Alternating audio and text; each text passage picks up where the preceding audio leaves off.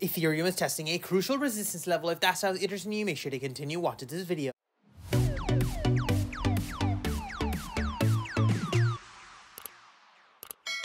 We just broke over 1100 Telegram members. This channel is free, so if you want to stay up to date with my market updates as well as some trading signals, make sure to check out the link in the bio. Hey guys, Pingu Charts here. Welcome back to another Ethereum analysis video. As always, if you do enjoy my content, make sure to hit that like and subscribe button. If you guys are interested in $35,000 trading bonus, make sure to check out the link in the bio. Now, ladies and gentlemen, as you guys can see on Ethereum, we continue to use our exponential moving averages as we push towards the upside.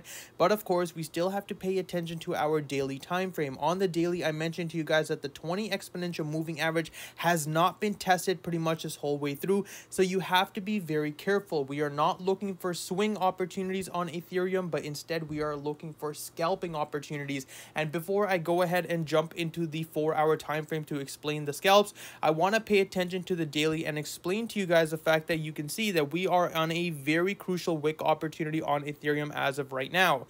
This wick, of course, if it does end up breaking, then we could be looking for a brand new all-time high on Ethereum with Bitcoin nearing the all-time high within $2,000 range. Ethereum is still lagging behind. Of course, if Ethereum does end up breaking this wick high, it is going to be a massive uh, scalp position towards the upside, possibly into the next move around the 3,800 to 3,900 zone. But please, guys, be cautious of this current zone setup. What you have to do is pay attention to the four-hour time frame. And as you guys know from Telegram, I mentioned to you that we have a very clean W formation looking to play out. Now that that formation has played and we have seen the scalping opportunity break for the wick high on the 35.29 zone, ideally right now all we really have to do is let the exponential moving averages continue to be used as support. We are not looking for swing short positions. We are not shorting this move unless the exponential moving averages break and then they are retested as resistance. A few of you guys have messaged me and asked me, Pingu, I really want to short because I see how overbought this is.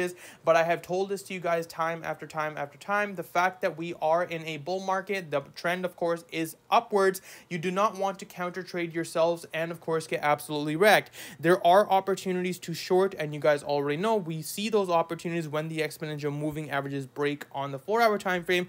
But right now is not a time to be looking for shorting opportunities. Instead, just looking for scalp long opportunities. As the market continues to break the next wick highs, you continue looking for the scalps be aggressive, and of course take those profits because ideally we don't want to be necessarily holding a position at this range in case we do see another flush attempt. The last time I mentioned to you guys that, you guys thought I was crazy, and then Ethereum did see a flush attempt within a second, and we dropped extremely fast, and a lot of you guys did end up getting stopped out. This is why I teach you. You are better off looking for scalping opportunities, unless, of course, we do see a retest on the 20 EMA, then we can start loading into some massive swing positions. Otherwise, if the market isn't giving us an entry. We only continue scalping as it continues to push higher. But that's pretty much all I have for you guys today. As always, if you new to my content, make sure to hit that like and subscribe button. If you guys are interested in $35,000 trading bonus, make sure to check out the link in the bio, and I hope you guys have one.